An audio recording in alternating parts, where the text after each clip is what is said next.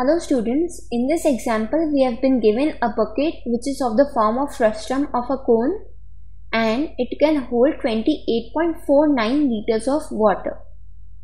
The radii of the circular ends are 28 centimeter and 21 centimeter. We have to find the height of the bucket that is denoted by h.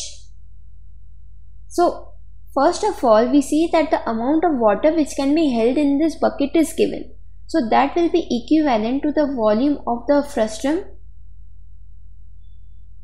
So we say that the volume of the frustum is equal to 28.49 liters.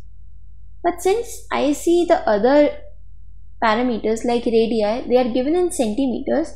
So we first of all convert this into centimeter cube which can be done by multiplying liters by 1000. Now this is in centimeter cube or cc. This is equal to 28490 centimeter cube. We also know that the small r which is for the smaller base circular end is equal to 21 centimeter and the capital R which is for the larger base is given 28 centimeters we say that the volume of the frustum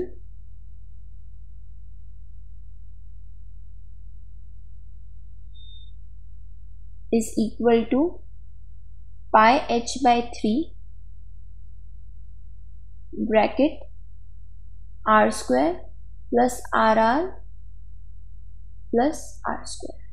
So we substitute the values 28490 is equal to 22 by 7 h by 3 bracket 28 square plus 28 into 21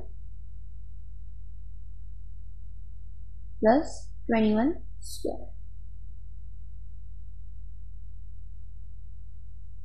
On solving this, we get 28490 is equal to 22h by 21 into 1813. Therefore, we get h equal to 28490 into 21 upon 22 into 1813.